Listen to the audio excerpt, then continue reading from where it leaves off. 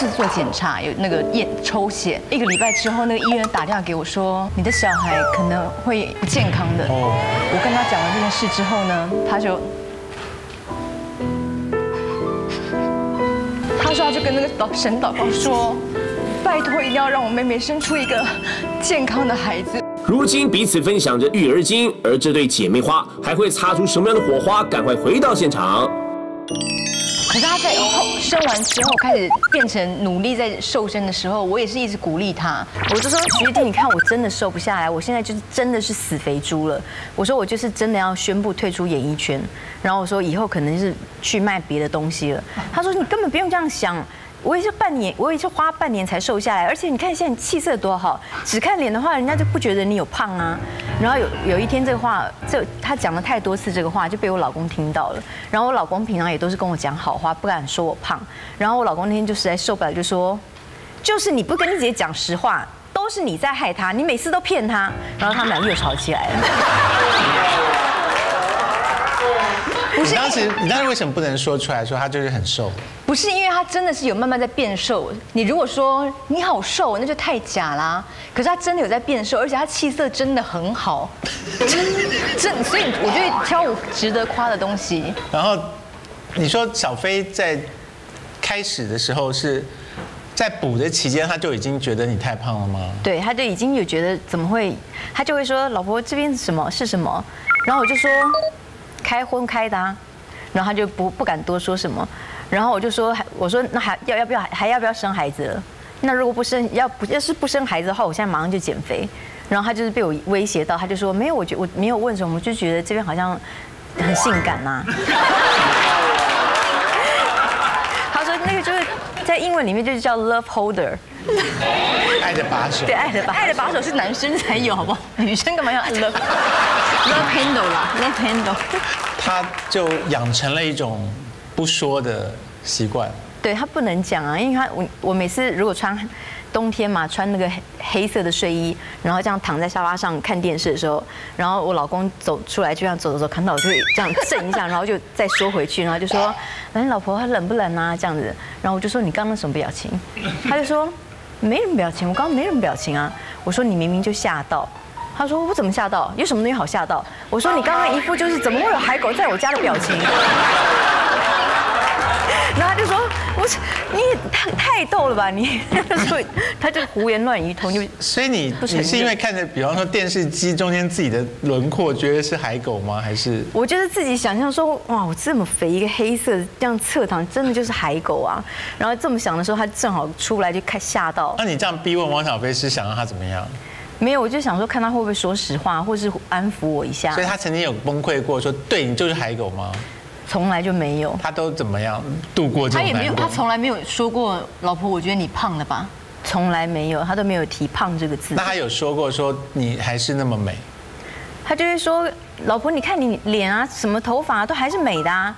你看你拍一张照，因为我有拍那个自己的头跟头发放下来照片，他就说，你看这样子，你放上微博去，人家一都不觉得你是怀孕。嗯。然后我就真的放上微博，还真的没有人觉得是我是怀孕。对啊。所以这样那样安慰不了你吗？就网友都说，然后我就说，可是如果我一拍下面，人家就觉觉得怎么会那么惊人呢？可是怀孕变胖很正常啊，你不要再害人了，因为怀孕变胖很正常，是真的很正常的事情。可是怀孕突然会生完之后变那么瘦，只有你。然后你鼓吹大家这件事情，所以所有台湾的女性都觉得小姨子生完都可以变少女。然后那他们的老公就会说：“你看小姨子为什么生完还身材都没变，还更好？”所以他们的老婆就会被被逼的说：“哦，生完就要像小姨子一样。”连姐姐都被你逼到哎！我不知道她心里有这么多阴暗面对我，因为我都是出于爱。徐熙媛，你你也觉得你被你妹逼到？我被她逼到啊，因为。照理说，我我们生完小孩，你是不是以为你你会跟他一样，一生完立刻就恢复？他应该算是异类吧，可能他为了工作，或者是他特意减肥才恢复成这样子。可是他就每次都装作很轻松，好像一生完就变这样子的样子，所以大家都觉得哦，一生完就可以变这样子。其实是他费了很多苦。没有，因为我在怀孕的时候，我胃很容易不舒服，所以我都吃很少。然后其实那个时候日本也是在流行，就是怀孕期间尽量不要胖超过十公斤可。是你就一直鼓吹让你姐姐尽量吃啊那。是因为她真的是很难才怀上孕，我希望她开心。如果是其他孕妇，我一定会说尽量不要超过十公斤。可是因为妹妹太爱你了，你说你想要吃冰旋风，然后我说你不要吃，你看你自己多胖，这话我怎么讲得出口啊？我当然是说姐你就吃吧，你怀孕这么辛苦。可是我问你，好，对不起，是那多美，那多美啊！就是你没有这些辛苦，你怎么出书？我这是帮你。好可怕的妹妹，所以当时她不但鼓，她鼓励你吃各种甜品，各种甜品没有，是？他自己打来 Q 说他要吃什么什么甜品，我就会说你就吃吧，不要在那边挣扎了。OK，因为那时候我家附近开了一家很恐怖的甜甜圈的店，因为那个甜甜圈是非常好吃的，然后来到台湾要排队排很久，然后我就说婷婷，那个甜甜圈居然开到我家隔壁耶，然后他就说去买啊。我说可是买了我就会吃啊，他说那你就吃啊，Why not? Have fun？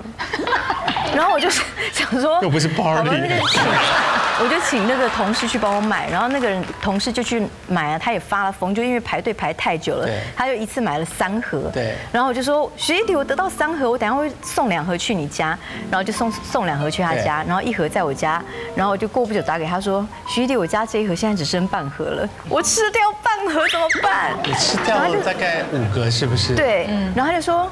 那有什么关系？那一个才多小一个啊！拜托，Come on，又不是说多大的一个甜甜圈那一。个很大，徐他证明我那两盒我一个都没吃，他一口都没吃。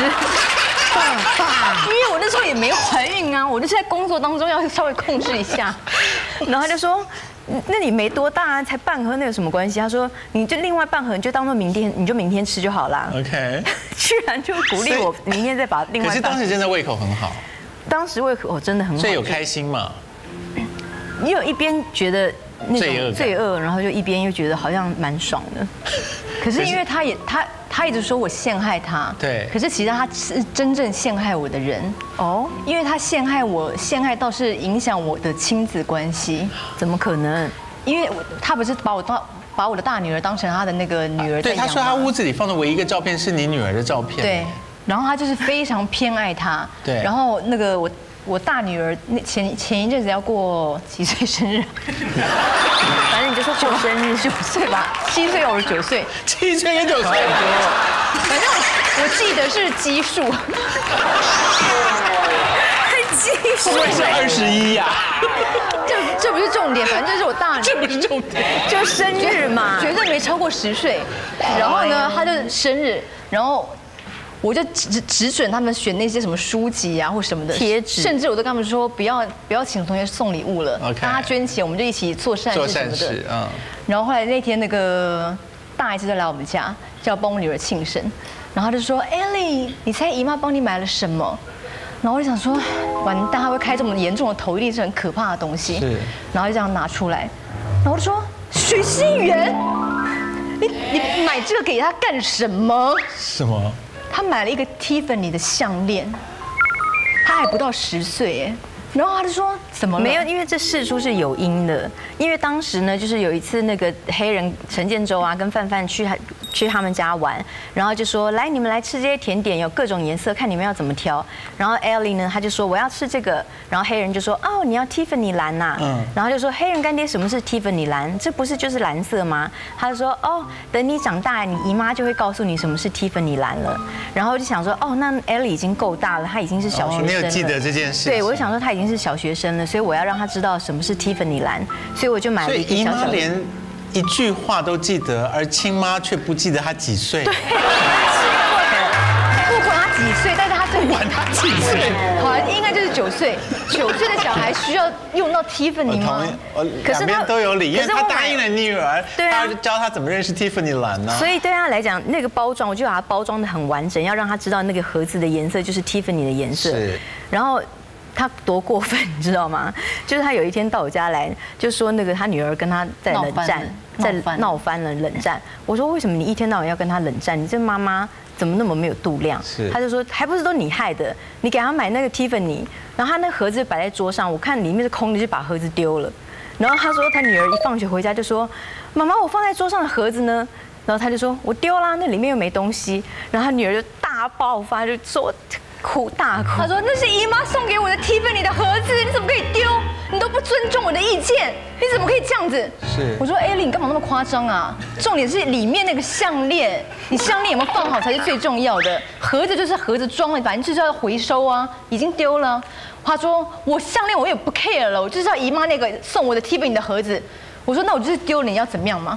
然后他就跟我讲这件事情。那时候我他到我家吃饭，我说重要的是盒子，它这个整它一整份它就是一个包装。对对一个女生来讲，能得到 Tiffany 的礼物装在那个盒子里，它就是一个包完完整的一个 set。如果他把盒子丢掉，那个就是真的少了，就像少了一片翅膀一样啊是。然后我就想说这样不行，这样艾莉好可怜，我就进我的房间，然后就把人家送给我的其他的东西，然后也有那个盒子一模一样的大小，然后连那个丝带绑回去，就给我妹说你把这个带回家给艾莉。对然后我妹就说你干嘛要这样害我？她好不容易过几天就会忘记，你这样她又会想起来，然后就会想说好人都是你做，坏人都是我当。是然后我就说我不管，那就是我送给她的，你你把它弄掉了，你就要给她一个交代。是然后她就再把那个盒子拿回去去还给艾莉。然后我跟他讲这个故事，他说：“学习弟，你怎么那么没品啊？” 他说：“你凭什么没有经过别人同意就擅自丢别人的东西？”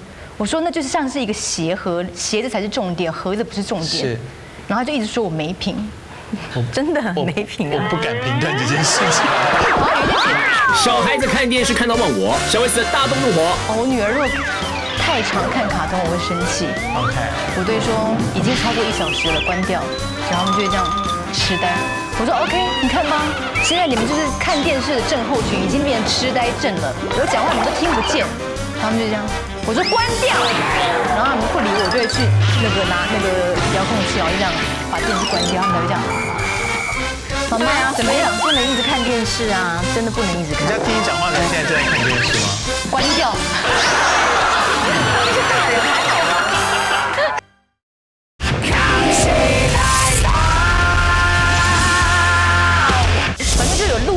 一直会有来宾送我一些什么低级的礼物然后我都会把它藏你这，件事情太没品了。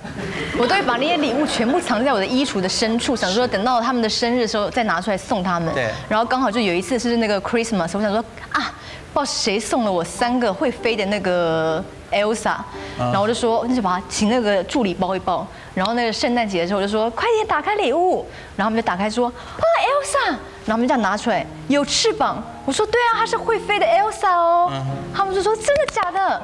然后后来他们就去开着那个一直按那个钮，然后呢 Elsa 就一直飞不起来，然后因为。假借是要送孩子名义，其实我们大人是要聚会喝酒嘛，然后我就让他们自己在那边摸索，对。然后我就在那边跟我那个我大姐喝酒，然后我二姐就消失了，因为她就跑去跟孩童们研究为什么 Elsa 飞不起来，是然后我就发现呢，它它是一定是要装电池的嘛。对啊然后我就它的电池孔是要用螺丝才能螺丝起子才能开，所以我就到处去他家找螺丝起子，后来就找到了，然后就发现里面的电池的尺寸是他们家没有的然后我就到处找人去帮忙买，请那个阿姨去买。然后她她打电话请那个阿姨说：“阿姨，你去帮我买六十个电池。”然后我妈在旁边说：“你疯啦！你电池买六十个要干嘛？”她说：“你怎么那么没礼貌，偷听别人讲电话？”然后我跟我我跟我大姐，因为他们三个，他有三个会飞天的，然后他一个就要用掉大概六个电池然后你要让他飞十飞十次，嗯至少也要给他存到够飞。然后我跟我大姐在那边喝红酒，我就说算了，我说她不飞又怎么样呢？少说他就是个 Elsa 嘛。是他就然后他就跟那个小孩说，姨妈今天如果没有让这个 Elsa 飞起来，我就不走。最后不管放什么东西进去，它就是飞不起来。它真的飞不起来，然后我真的不知道为什么可能是放太久了，或者是真的是然后一个礼拜后又来我们家聚餐，他们就他就问那个我的女儿说，Elsa 飞起来了没？他们都说没有。然后他就说，徐玉定你真的很没品，你怎么会送礼物送这样子半送？坏掉的礼物。那哎小孩那么高兴，然后他居然又不会飞，然后那些小孩就把它摆在那边，然后就是 Christmas 就算是毁掉啊，就毁掉啦。不是，可是那个 Elsa 还是在的啊。可是不会飞，那你就不要承诺它会飞啊，你就说这是 Elsa 不会飞的，这样就好了。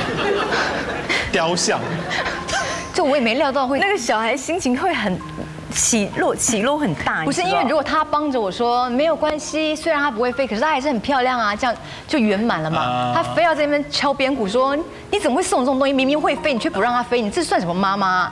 然后小孩就会想说姨妈讲的没错，妈妈你为什么送我们不会不会飞的 Elsa 什么巴拉巴拉巴拉的那种？OK。他就是很会陷害我的亲子我。没有陷害你好不好？，所以徐熙娣你应该很高兴，她现在有自己的女儿可以去处理，就不会来烦你了吧？我跟你讲，我对我的女儿哦，她如果我送她的东西该怎么样，就一定会怎么样。我不会送她一个坏掉的或不会飞的，然后骗她说会飞。我没有骗她，是我而且我会把电池先买好，我不会让她找不到螺丝起子，然后想说，哎，这个东西到底怎么用？我大姐的儿子跟我的女儿是一样大的，就才七八岁那一类的，所以我跟我大姐都遇到一样的问题，就是小孩开始会跟我们顶嘴，我们会然后看到姨妈就像救星一样。对，然后我们每次三姐妹在那个聚会的时候，她都会说：“你们对小孩的态度，你们的 EQ 怎么怎么怎么会这么低呀、然后她说：“我这辈子我绝对不可能讲话对育儿讲话大声。”他说：“我绝对不可能。”我看书里面你说你的育儿宝典就是不可以在婴儿旁边大声，对，所以因为你要尊重小飞会被你制止。会制制止，张兰女士呢？然后那个我会尊重我婆婆。所以大家都要轻声细语吗？因为我觉得轻声细语的环境可以让小孩保维持一个比较宁静的可是徐熙。娣喝酒的时候可能会哈哈哈哈这样笑啊。如果说是带去他家的话，我就会想说，就勉强忍一下。可是如果他们来我家的话，我就是跟他们说小声一点，然后也不可以啰里啰嗦讲情绪的话，对，不可以在那边抱着婴儿所以只能够像科幻片当中这样，就报告舰长现在已经进入什么太空状。不是这样子，就是不能说在旁边说，哦，怎么会乱丢东西啊？说，哦，你这边怎么那么脏脏啊？脏脏就是啰嗦，就是有如果他没有他听不懂的话，你就不要说，哎，你这边怎么脏脏的？哦，小脏脏什么，就一直脏脏脏脏。不要讲这些就不要啰嗦，就是合合理的跟他讲说，你呃你好，我是姨妈这样子，或者说我是小阿姨。你好，我是姨妈，对啊，我像空姐这样。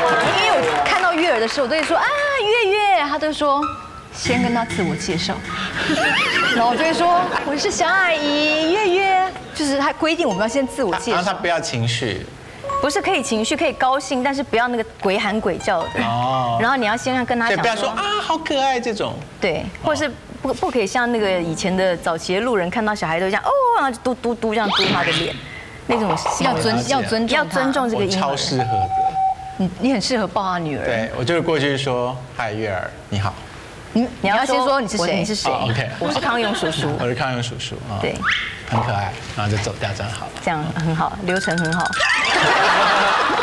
好可爱，但是汪小菲也是一个超级那个情绪化，她就是那种，比如说小孩受伤，她就会说妈妈对不起你，月儿肉肉什么什么的。然后她老公就是，我觉得在他们家做事的那个，不管是保姆还是谁，都会觉得压力很大的原因是，如果今天是小飞在现场，他女儿如果不小心这样，比如说有那个别的小孩在玩小汽车，然后可能这样轻轻碰到他女儿的手，然后他女儿就哭了，然后小飞就说怎么了怎么了？是不是手指断了骨折了骨折了？有没有断？有没有断？然后我就我当时我有过去检查，就只是红红的。我说你不要大喊大叫的，没事。然后我女儿在哭，我就说没事没事，妈妈检查只是红红的。然后我老公就一说快叫救护车。然后我就觉得我老公很烦，然后我就想嘘，然后就把女儿抱抱去那个远方啊安抚她。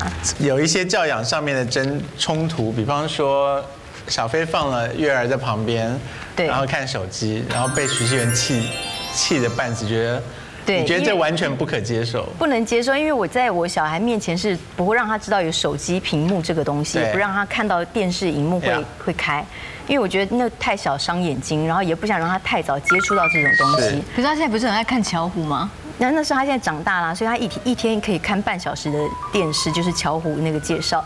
但他那个时候还很小，然后我只是去上厕所，请我老公帮我顾一下他。嗯嗯，然后我从厕所出来就看到这个这情景，就是我女儿本来是远远的在那边看，说，嗯，这个东西是什么？怎么会亮亮的？然后后来就再爬过去想说，近看是不是也是亮的？而且这个是你拍的照片，我拍的，我就在从厕所出来。收集罪证是不是？。对我收集罪证，然后我就把它拍下来，然后就给我老公看。我说：“你看看你，我只是去厕所一下，你就让小孩看手机，难道你这样不能忍吗？”其实也不会怎样啊。他就就凑到前面去了。你那看他现在有沉迷于手机吗？还没，因为他还小啊。因为后来我就不让他看手机啊。要促进爸爸跟女儿的关系，就是爸爸在看手机，女儿就是会凑过去啊。可是他这样会伤小孩的眼睛哎，真的。他没有在刷啊，他就只是瞄一眼而已吧。他会一直盯着看，眼睛就一直盯就是着看。爸爸这样子在看手机，他在旁边就一直看就对，了他就一直盯着看。看一下还好啦。他你看他趴上去看呢，也，那他现在眼睛还不是 OK？那是后来我制止啦。所以徐熙娣你都没有这样子管你女儿哦，我女儿如果太常看卡通，我会生气。，OK？我都会说已经超过一小时了，关掉。然后他们就会这样痴呆。我说 OK，你看吧，现在你们就是看电视的症候群，已经变成痴呆症了。我讲话你们都听不见，然后他们就这样，我说关掉，然后他们不理我，我就会去那个拿那个遥控器，然后就这样把电视关掉，他们才会这样。妈妈怎么样？不能一直看电视啊，真的不能一直看你。在听你讲话的人现在正在看电视吗？关掉。大人还好吗？叫人家不要看自己的节目。好，所以这个书当中呢，西元有想要向一个人致歉，就是你把保姆写的很没有用。对，因为我一开始呢，就是他我的那个 baby 还是婴儿的时候，那个请我就请了保姆来，还是我的亲戚，然后他就嗯，就就很好像要忙起来，可是那个婴儿都一直在睡觉，所以他就不知道该干嘛，可是他就在我们家又觉得。在我家很尴尬然后他就说：“那个汪太要不要我煮饭给你吃？”我说：“不用煮饭啊，你就是好好照顾婴儿就好。”他说：“可是他都一直在睡觉，怎么办？”我说：“那你就也去睡一下。”然后我就叫他去睡觉。然后我在书中有提到这一段，可是那个时候婴婴儿还小，然后一直到现在要输出了，我的女儿已经会走路了，所以保姆就变得非常的忙，要小心她跌倒，在后面跟东跟西，还要顾我跟我老老公的情绪，因为我老公情绪通常都很大，动不动就要叫救护车，所以他现在就变得比较压力大一点，又忙一点。对所以我当初在书中写叫他去睡一下，现在已经没有现在已经没有这个空间了。所以你有在输出之前就跟保姆沟通说，你把它写的太……我有跟他讲说，我到时候书中会提到这一段，但我现在要先跟你讲了，你现在真的很辛苦。王小薇不看是怕他看到会干涉你。他很爱干涉我讲什么话或什么东西的，所以我我想他大概就文字方面他大概也不爱看吧。就算了。嗯，所以你有称赞他很多吗？他算是一个好爸爸吗？算啊，他算是一个好爸爸，因为他都不管小孩。没有啦，就是他都很信任我，都交给我。因为我姐跟我讲说，小飞既然离开家的时候，他女儿会哭，哭着叫爸爸。我说怎么可能？世界上没有这种事情。他说真的啊。然后就是我说那那代表小飞很爱你女儿，就是他们互动一定是够多，对啊女儿才会这么爱他啊。我女儿很爱爸爸，她开口第一个会叫的是爸爸，而且是爸爸，她就是不准说爸爸或爸比都不行。爸爸。他说一定要爸爸，你说他开口第一个叫的是爸爸，对啊不是妈妈。不是是爸爸。那你作何感想？我无所谓，我觉得我女儿只要是平安，她开心，她怎么样都行。你没有在那边嫉妒。我完全不不 care。OK，因为她现在每天就是妈妈妈妈，每天叫。女儿指名保姆当妈妈，小惠子今天女儿冷战。前几天我就抱着我那个徐老三，我说宝贝，妈妈好爱你哦。他说我不要你当我的妈妈。我说为什么？他说我要阿姨当我的妈妈，这是我们家的保姆。我说你要阿姨当你的妈妈？我说那我怎么办？他说你还有大姐跟二姐啊。我说哦好啊，以后就当阿姨带你去买菜啊，阿姨带你去干嘛，我妈就轻松啦。你又在跟小孩冷战哦？对啊，我就想说好啊，就 你有病是不是？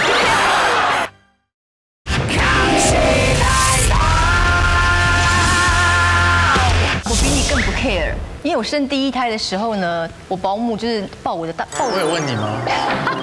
这说这不是我的节目吗？怎么样？我要等你 Q 才能讲话。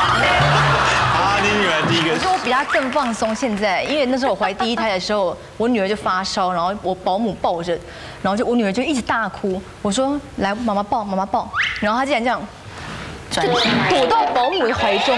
为什么？她就是比较爱保姆，然后我就想说算了，他不舒服我就不跟他计较了。我说好，让他去睡。然后回房间我就跟我老公大哭说，他现在比较爱保姆，他觉得那个才是他的妈妈。然后我老公就安抚我说不会啦，小孩长大就好就好了。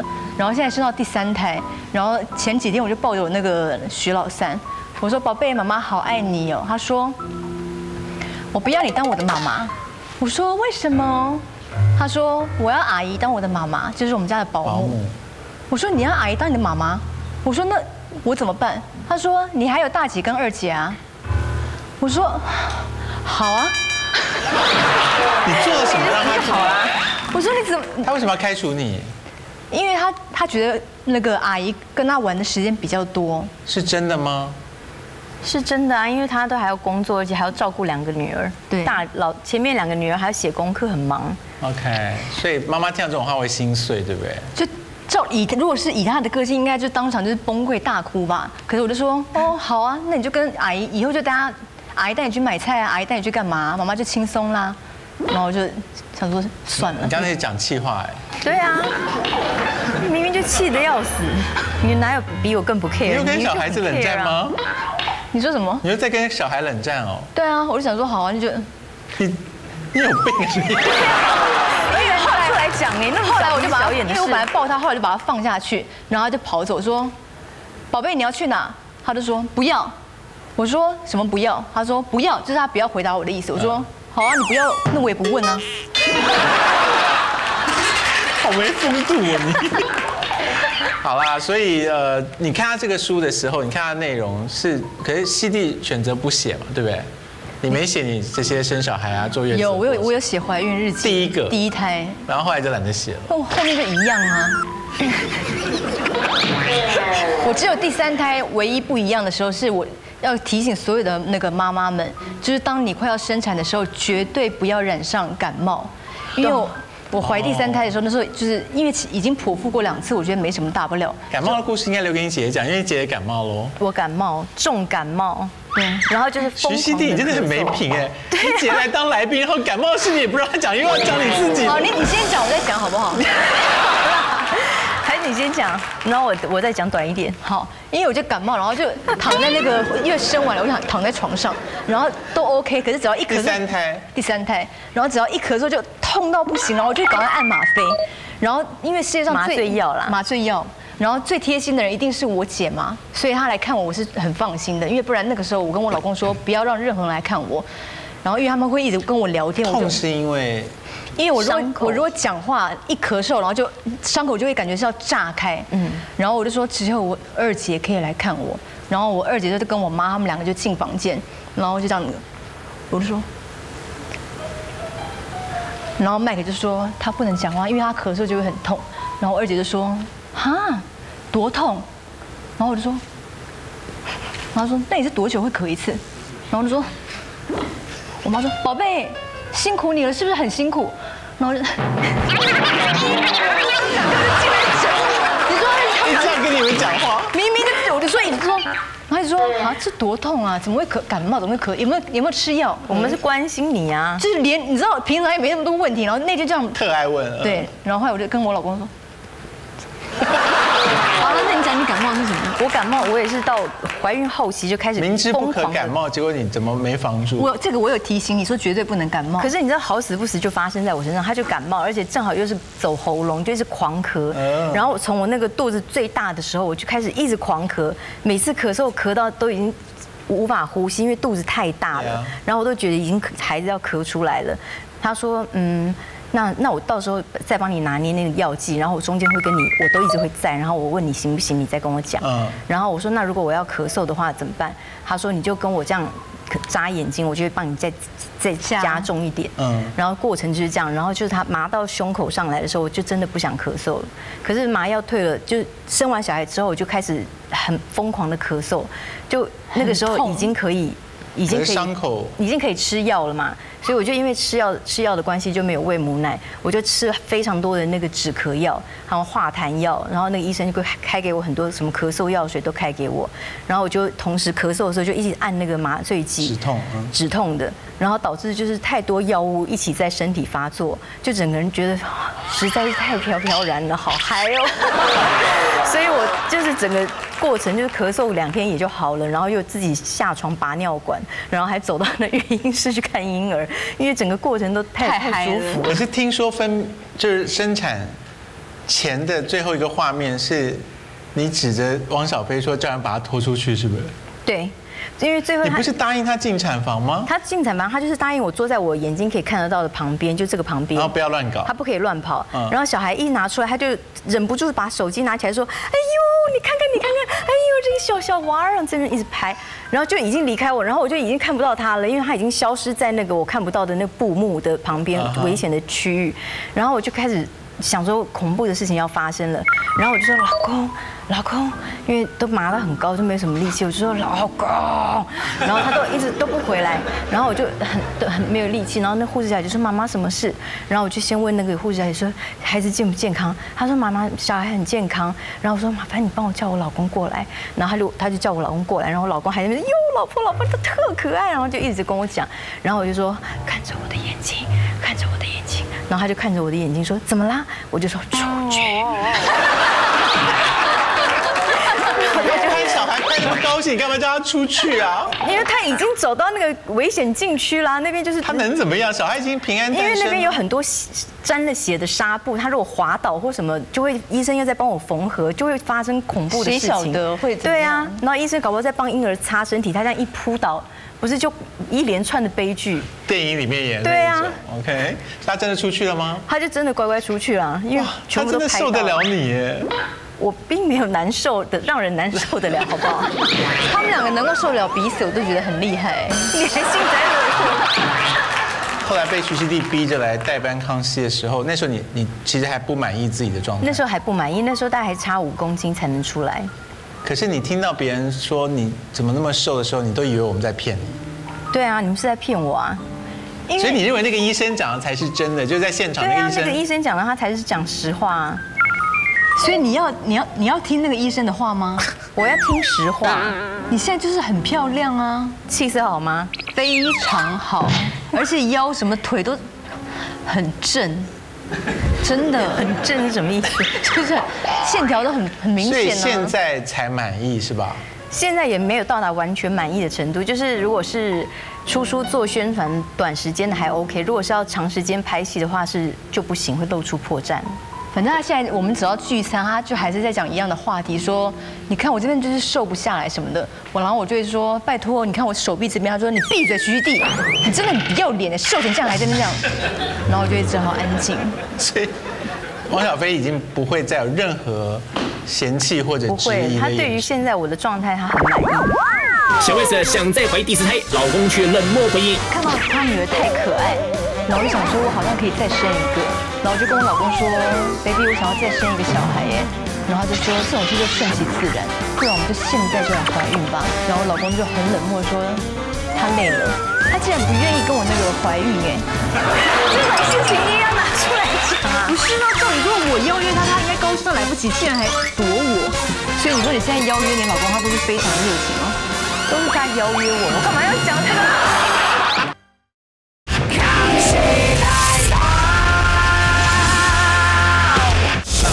很讨厌别人叫你再生一个吗？蛮烦的，因为我第一个都一生不出来了，然后大家就一直逼我说早点生啊，早点生。我也知道早点生，可是生不出来啊。然后好不容易生了第一个，大家居然就说啊，大 S 加油，赶快生第二个，要快。然后我就现在都一开始就是我们也要生第二个，他们就说一定要生，然后就开始跟我讲为什么一定要生第二个。嗯然后现在人家在说大 S 加油，再生第二个，我就会说好，我会努力，你已经就不要再变了，懒得再回。因为我到现在都有人说小 S 再拼一个，对啊，你干嘛不赶快再拼一个？加油啊！我已经三个了耶。你恢复的那么快，你就是生孩子机器，你一定要再生一个。好 你是讲真的吗？所以皮世元的这本书的最后，他有说，这个书是你给你女儿留的一个纪念。对要不然你其实也没有很在乎别人知不知道这些故事。对，你是希望小孩将来长大的时候会很高兴，妈妈为他写过这本书。对，因为我要怀孕的过程，我真的是有慢慢的失忆的状态，因为人家说怀孕就会忘东忘西，然后我就是要对啊，这这是真的。然后我就是很怕他长大问我的时候，因为我又年纪比较大了，等到他长大，我又比差距就是比他跟他女儿差距会更大，嗯我就很怕我到时候真的什么都忘了，无法回答他，所以我想说那时候出版社就邀我写，我就想说写的理由真的就是想说可以给以后当小孩长大的时候问我的时候有书可以参考。不过徐炫作为妈咪有一个非常好的态度，她说我会做一个好母亲，协助你成长。可是毕竟你是独立的个体，你会有自己的使命，而我就是尽力的协助你。无论你长大以后变成怎么样的人，妈妈都会始终的爱你。所以呃，你已经准备好了，就是她不会照你的意思，对不对？对。你有在规划她变成怎样的女生吗？完全没有。可是你现在叫大家在她旁边轻声细语。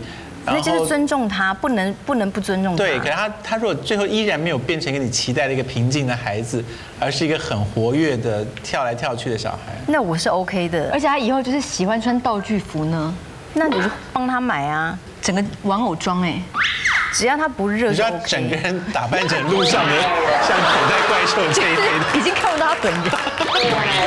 然后你也你也有体会到说小孩子。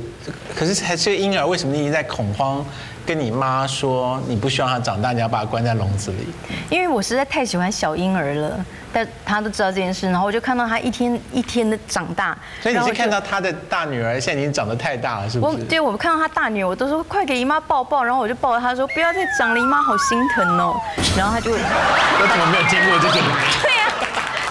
小朋友听到这种话会困惑吧？你们没有听到听过大人看到小孩长大会心疼这种？我可是我没有听过大人跟小孩说不要再长大，一定都说快快长大。通常那都是放在心里的话，因为我也是会有这种感觉，就是一边喝着酒一边看我三个女儿，然后就是在心里感叹说，他们本来是婴儿哎，他们现在竟然已经是会顶嘴的少女了。你有没有任何故事发生在你没有在喝酒的时候？你连 Christmas。Elsa 飞不起来的时候，你也在喝酒，然后骑车的时候摔车的时候，真的没喝，清醒的摔的，清醒的摔。好，所以你有跟你有跟 Ellie 讲说。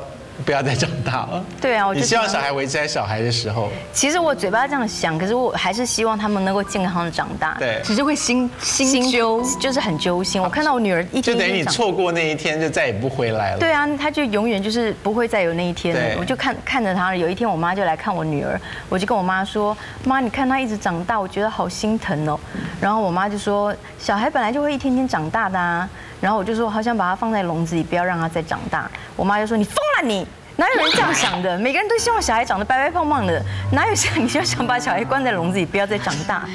可是我理解你那种担心他越来越大的心情，就是会很舍不得。因为像徐老三，就是我还可以抱着他，因为我我的那个成名作就是可以抱着婴儿唱完一整首英文歌曲，然后搭配那个举高高，就是每一个成名作，就是我会抱着我三个女儿，就从他们小的时候，然后三个一起抱着，没有，就是从老大这，然后玩到老二，玩到老三，就是抱着他们会说 Hikari Hikari da。The monster of the clock the clouds are one，然后就嘣就飞到空中。谁会这样弄呢？婴儿本人，就是我会把它举起来，然后 the monster 嘣什么的，然后就会数到三，然后最后就噔噔噔噔噔噔噔就会倒在地上。就是我女儿，这是一个表演过程，是不是？就是他跟小孩互动的一个过程。对，然后就我三个女儿都玩过这个游戏，然后老三那天就说妈妈妈妈我要 hikari hikari。然后我就抱他的时候，已经觉得哇好吃力哦。然后我就好不容易就玩完这一完成了这一首。然后老二说：“妈妈，我也要 hikari。”老二已经很大了，可是还好，因为老二过瘦。我说好，妈妈试试看。然后就也是成功的就完成了。有飞起来吗？就是很很吃力，就是 hikari。然后老大就说：“妈妈，我也要。”我说：“你也要。”老大都快跟我一样高了，他几乎跟我一样高。车轮大战呢。然后我老公就说：“baby 不要玩了，我怕你闪到腰。”然后现在他女儿也臣服于我。所以老大后来没玩。老大，我就叫他夹住我腰，然后我就说：“妈妈试试看。”然后就真的是，就只能到这边而已，举不上去。这时候 Mike 就应该。扮演这个角色，把它举起来，不是吗？举不起来，真的太高了。我老公闪到腰，闪到四五次了耶。他有一次闪到腰，就是因为抱女儿才闪到腰的，所以他在旁边说：“baby，算了啦，他太重。”然后就约我去房间看 DVD。所以就是那个，我带他女儿心中的分量也很高。所以这个书里面讲的事情，是希望女儿将来会看的。就是他如果问我的话，我我可以回答出来。可是你会不会认为，你如果再再怀孕一次，你也没有这些感受。我应该不会再怀了吧？应该是不会有，很难说。张兰女士现在应该是在盯着你怀第二个。应该还好吧？我婆婆真的没有给我很大的压力啊。真的？对啊，你婆婆只是很爱月儿，很想要常常看到她而已啊。对啊，她并没有一直挤并没有给我说要再生第二个这种讯息。所以直到什么时候你才会有很自愿的说啊，我要再生一个？因为来康熙的很多女明星是很乐意的、很期待的迎接第二不知道他们在。想什么哎，他们都一直说你一定要生几，你生到第二个你才会知道有更幸福。问题是我就真的，谢谢。OK，所以你你三个了，你会劝他再生第二个啊、还是你不敢问他这件事情？我觉得他可能会生呢，因为连我都还想生了。是，我也忘了为什么，我好像是看到他女儿太可爱，然后我就想说，我好像可以再生一个，然后我就跟我老公说，baby，我想要再生一个小孩耶。我说，可是我还是想生女儿。我说我不喜欢儿子，然后他就说这种事就顺其自然。然后那天我就说，不然我们就现在就来怀孕吧。然后我说现在就怀，我说我已经觉得我就是 get ready 了。然后我旁边的姐妹都很多婴儿，我们就一起这样。然后我老公就很冷漠地说，他累了，然后就走了。然后我就想说，真真的睡了吗？然后就听到那个哒哒哒的声音，他就是转成这样，然后在玩那个手机的象棋。我说你根本就在玩象棋啊！他竟然不愿意跟我那个怀孕哎。不！是啊，照理说我邀约他，他应该高兴都来不及，竟然还躲我。他怎么会高兴还来不及？他已经跟你结婚很久了。但我还是略有姿色啊。你心目中有像你妹妹一样想过说我要的婴儿要长怎样吗？就是大致上来讲，我就会觉得我的女儿应该就是长得很像我，嗯嗯，因为她的女儿就是一生出来一看就是她的女儿，是所以就是没有特别希望她长怎样，就是像我就可以了，，OK，所以现在够像你了吗？非常像，他简直就是我的翻版。可是也有很多人说他长得很像小飞，也因为他小汪小菲小时候跟我小时候长得很像，等于说你们从小就已经注定了。对，你们两个，你们俩这些疯话可不可以不要在康熙讲？你们自己讲就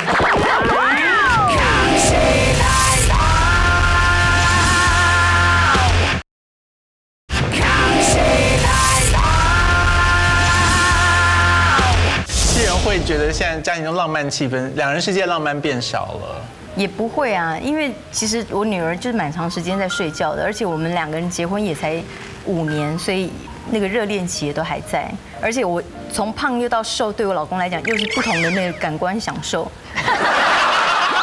什么？不是，好像老婆突然之间被调包，哎，突然又再调包成另外一个。从绑架者又被放回来了的感觉。不过他们俩还蛮浪漫的，因为他我他都会说我在吃饭，我说跟谁？他说我老公，我说就你们两个，他说对啊，喝着红酒什么什么的。我说你跟你老公单独吃饭，在法国餐厅，那要吃很久哎。他说对啊，我说哇，那你们真的很相爱。所以你们会让让保姆照顾小朋友，你们去享受一顿两人世界的约会。然后我就问他，我就问他说有话聊吗？整个饭局，他说有啊，真的有话聊吗？当然有啊，你又不是知道我老公，他那嘴根本停不了。哦，就喷，就是很爱喷。所以你跟麦克为什么不做这种事？啊，因为我们孩子也都大了，需要妈妈顾。你女儿要找阿姨啊，不要找你。只有一个要找阿姨，有两个还是要觉得 要当我女儿啊。所以有一天等到汪小菲也开始转过身去玩手机上的象棋的时候，你姐才会知道那一天来了。哇，我老公会这样对我吗？不要不要让他当了我那个象棋的那个游戏，所以你说你现在邀约你老公，他都是非常热情哦。都是他邀约我，我干嘛要讲这个啊？